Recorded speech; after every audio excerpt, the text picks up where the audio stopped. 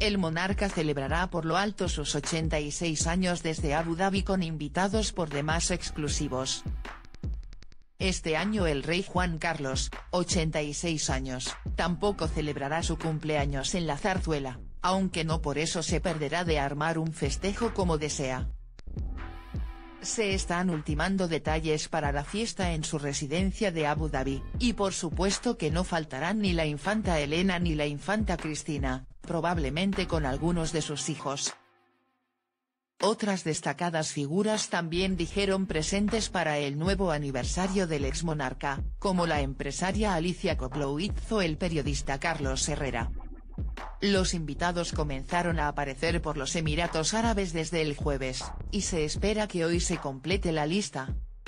Por fin se dio a conocer quién correrá con los gastos de la fiesta, el desplazamiento y el alojamiento de los invitados al cumpleaños del emérito.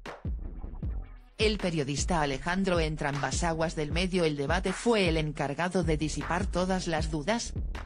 Don Juan Carlos, básicamente, lo que le ha trasladado a su entorno más próximo durante estas semanas ha sido decir que quería que estuvieran con él en un día tan especial todas las personas que le han estado apoyando desde que se tuvo que marchar a Abu Dhabi, explicó en el programa Mañaneros de TVE.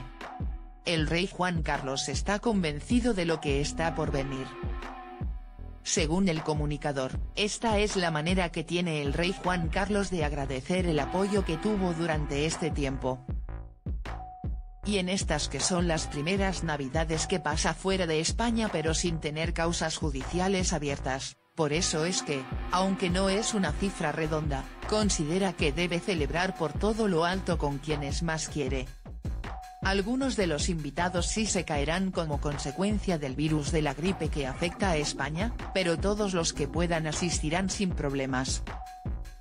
Con respecto a los gastos de la fiesta del ex monarca, Aguas aseguró, todo esto lo está costeando el gobierno de Emiratos Árabes Unidos. El cumpleaños va a durar todo el día. Está previsto que tenga lugar una comida en la vivienda, y la fiesta se alargará hasta la cena. En cuanto a la familia, está claro que ni el rey Felipe, ni sus nietas Leonor y Sofía, ni su esposa estarán presentes, aunque sí tiene un entorno familiar bastante amplio.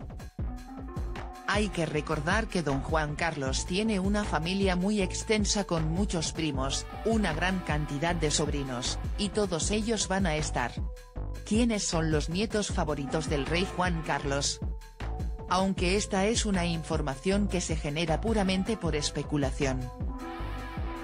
De los medios, el rey Juan Carlos demostró desde siempre un vínculo demasiado estrecho tanto con Victoria Federica como con Froilán, los hijos de la infanta Elena, de hecho, este último está instalado junto a su abuelo de Abu Dhabi.